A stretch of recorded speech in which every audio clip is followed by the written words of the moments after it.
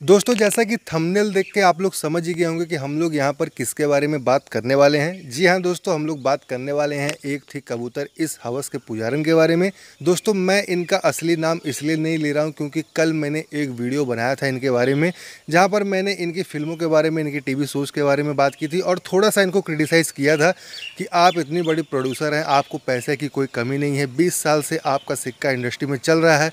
तो अब ऐसी क्या ज़रूरत आन पड़ी है कि आपको इस तरीके का सॉफ्ट पोन परोसना पड़ता है अपने ओ टी प्लेटफॉर्म पे। तो यही सब बातें मैंने कही थी इन मैडम के बारे में और बहुत ही डिसेंट वे में मैंने बात किया था। मेरी भाषा बहुत ही साफ़ सुथरी थी। किसी भी प्रकार का गाली गलोच मैंने प्रयोग नहीं किया था। जैसा कि आप लोगों ने कई सारे वीडियोस देखे होंगे इन एक थी कबूतर के बारे में। इस हवस के पुजारन को बहुत ही ज़्यादा भिन्न भिन्न प्रकार की गालियों से संबोधित किया जा रहा है। अनेकों वीडियोस में जो कि यूट्यूब पर उपलब्ध हैं उन पर किसी भी प्रकार का कॉपीराइट स्ट्राइक अभी तक नहीं आया है।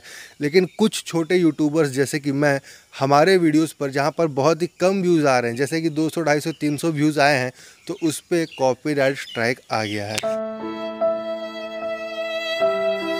अब दोस्तों मैं अगर बात करूँ कॉपीराइट स्ट्राइक के पीछे की वजह के बारे में तो दोस्तों मैंने उस वीडियो में चार पाँच इनके मूवीज़ और टीवी शोज़ के पोस्टर यूज़ किए थे। तो मुझको तो पहले यही लगा कि शायद इन्हीं सारी चीज़ों के चलते ही कॉपीराइट स्ट्राइक आया होगा कि भैया आपने क्यों हमारे पोस्टर यूज़ किए वगैरह वगैरह। तो दोस्तों, उसके बाद जब मैंने यूट्यूब पर देखा कि कॉपीराइट के पीछे का वजह क्या है तो दोस्तों, आप लोग देख सकते हैं यहाँ पर जो लिखा हुआ है डिफेमिंग वीडियोज़ ऑन एक थी कबूतर एंड इनका जो ओ प्लेटफॉर्म है, उसका भी नाम मैं नहीं लेना चाहता, क्योंकि भैया स्ट्राइक आ चुका है और मुझको और भी ज़्यादा डर लग रहा है, क्या पता इस वीडियो पर भी स्ट्राइक आ जाए। दैट्स वाई मैं यहाँ पर नाम भी नहीं लेना चाहता असली, ना ही उनका, ना ही उनका जो ओ टी प्लेटफॉर्म है उसका। तो दोस्तों, अब आखिरी बात, मैं इस हवस की पुजारण एक थी कबूतर को यही कहना चाहता हूँ कि अगर आपके अंदर क्रिटिसिज्म झेलने की हिम्मत नहीं है तो यार आप फ़िल्म बनाना टीवी शोज़ बनाना या वेब सीरीज़ बनाना बंद कर दीजिए।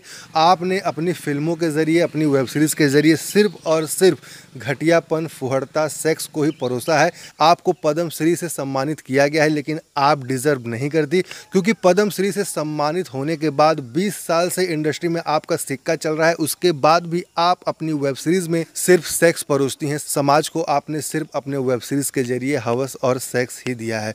दैट्स वाई आप किसी भी प्रकार का सम्मान डिज़र्व नहीं करती। और मेरी गलती बस यही थी कि मैंने अपने उस वीडियो में बहुत ही डिसेंट वे में बहुत ही अच्छे भाषा का प्रयोग किया था आपके लिए, लेकिन आप थोड़ा सा भी अच्छाई डिज़र्व नहीं करती। आप रेस्पेक्ट डिज़र्व नहीं करती हैं।